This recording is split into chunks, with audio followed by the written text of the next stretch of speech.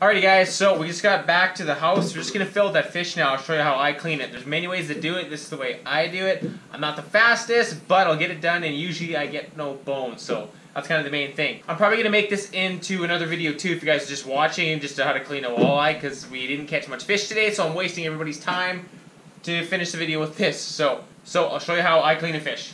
Okay, so the first thing I always do is sharpen these knives because they're absolutely garbage and I haven't found a good knife every single thing I buy, I always have to sharpen it every two to three fish. But it stays really good for one fish and it's terrible right after. Mm, don't get it. Trash! So I'm not much for uh, explaining stuff. I'm pretty bad at it. But what I do is you go behind the fin, you cut on an angle going straight in to hit the bone, and then you turn it back and go all the way down the spine. You flip it, do the same thing on that side. And then there's a couple ways you can do this. I changed the ways I do it now. So after I cut it in and then we cut away or cut it into the bone and then start going back, you try to keep it right on this side of the spine coming back close as you can. When you get to the ribs, you'll feel the ribs. Then you slowly just peel and fillet it right off the ribs as you go. And then you get past the ribs, you push the knife all the way through, and then you go straight off out the tail, following the spine, and you will feel it the whole time too.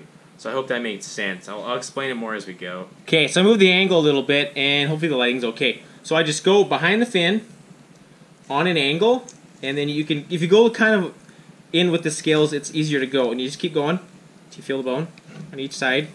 Make sure it's all the way through. You'll feel it when it's stop when it bombs out. You flip it over, do the same thing all the way through behind the fin, go down,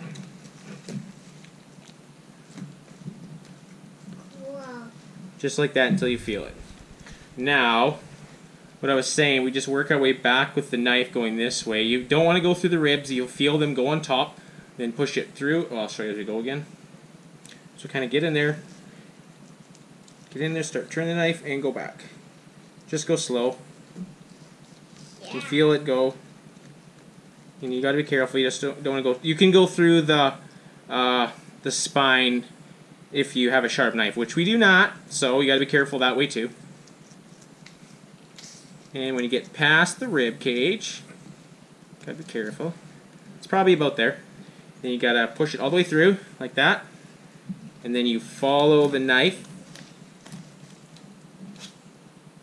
I think I went through the spine. Oh, I did a little bit. So you got to be careful. And then follow the spine all the way back and out, and you'll fall. Oh, I didn't go through the spine. I thought I did. That's my bad there. Of course, this thing's dull. it's not going to go through. So, now, I hope I can feel, I'll kind of... Oh, this is really awkward because I'm going to try and... Oh my gosh, can you guys even see? Yeah. Got to make sure. I'm going to. This is backwards. It's actually backwards, but you can maybe see a little better with the lighting. So, you just basically go down and you can, if you listen when I'm doing this, you can hear the spines. So that's it. You feel it, you just keep going down. You can see I'm close, slowly getting, I'm, I'm terrible at explaining and lighting. so yeah, you can see I'm missing the spine, or the ribs. Just keep going down, just like that. It's slippery. This is really awkward. I don't hold it this way, but I'm trying to do this for the video. So you slowly go down, just like that. It's really not hard. You do a few, do a few of them, you'll get the hang of it. Oh, just like that.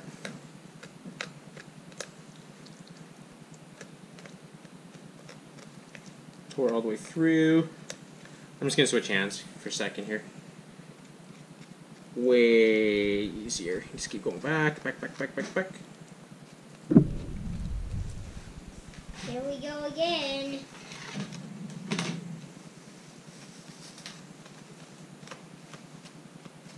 Just like that. And you get past the ribs, you can tell it goes like that. And just go down further to get a little more meat, not much. And then pull back like this. And this is the one step. So this is a good size. Smaller are a little better to eat, but I didn't get only one, so I really want to eat some uh, walleye or pickerel, whatever you want to call them. So that's that side. And you can see we did a perfect, went right down the spine. I thought I went through it that one part, but I didn't. And here is all the ribs in here. Can I see? I see all the ribs. So now we flip it over and do the exact same thing. And now it's really backwards, but actually it's easier for you to see this time. So same thing, you can tell you go about an inch or so and you can turn the knife there and then start coming back. And it's easier, I think, if you put your hand like this, especially in the video. I'm trying to, it's really awkward. And go down the side of the spine. You can feel it. Go slow. Just like that. And then put the knife up, through, and you're past the ribs, like that. And then you tilt the knife this way to get back on the spine and go all the way out. And you can feel it. You can hear it too. And out. Shut the door, please, Lawson, if you're going out. So, same thing. Try and do this for you guys can see it easier. It's backwards entirely for me, so it's really weird. What's backwards? the way I'm holding it because I'm trying to have it on for the GoPro. Okay, so? Same thing. You just got to keep feeling it, and you'll feel the the ribs, rivets, whatever you want to call them, the ribs, just vibrate when you. you have the feeling of it. You know what I mean. Like I said, I'm not for explaining stuff. Keep going. Keep following them. I think Oh my my big gosh. head's in the way. I couldn't really. I think that was blocking the light. So I'm trying to angle the fish so you guys can still see it the best you can. That. That. We go down. I'm holding my the knife like a pencil, but it's actually working pretty good. I could have got a little more there, but the ribs are pretty well right there, so I could have got a little closer there. Mainly because I'm kind of holding it awkward for this, but it gives you the idea. And then go like this. Just like that. Yeah.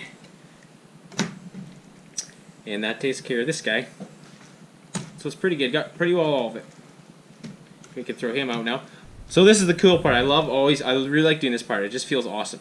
So you got to get as close as you can to the skin. Start it without cutting your finger. Uh, could have got a little bit there. And all you do is just get to the bottom of the skin, the scales, and then if you got a sharp knife, which this isn't, so it makes it a lot easier, but you just kind of wiggle the knife, and then it takes all the fillet right off. Hang on. Oh, it's kind of slippery. Kind of awkward to hang on to. Yeah, we have a new furnace. Okay, and you go like this. Keep wiggling it, wiggling it. You still in shot? Okay, good. Go like that. Daddy, Hang on a second, please. supper's ready. Yeah, well, not this supper yet. Go all the way off like this. The real supper. I'm going to Wiggling it like that. Okay, see ya. And that's there. It takes it off very nicely. And this is one done right here. Really nice size one too. And if you if you yeah, I always check to make sure bones like I am really usually pretty good, but you can feel too if you did cut it a little bit late, or cut it a little bit off or whatever. You know what I mean. Just feel it. Feel it.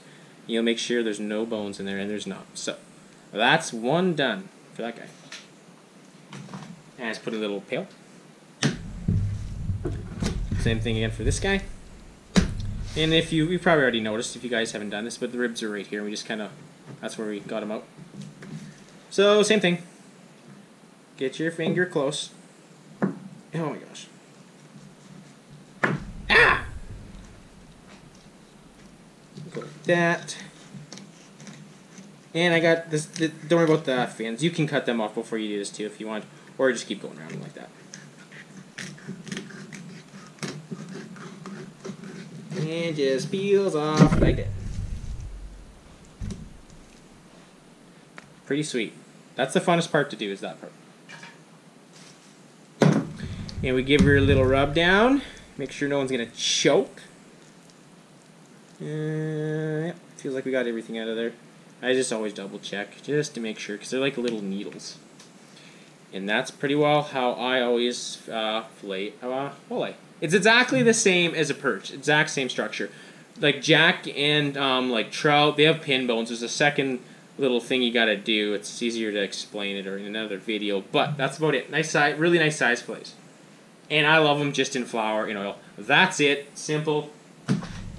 Amazing. So this is sweet. So, thanks for watching once again, and I like wasting everybody's time. That's how I do walleye. If you guys like it, subscribe. We'll try and do some more videos when we get more fish. Eh, they're not biting much right now, but it's still fun to go out. So, see you guys next time.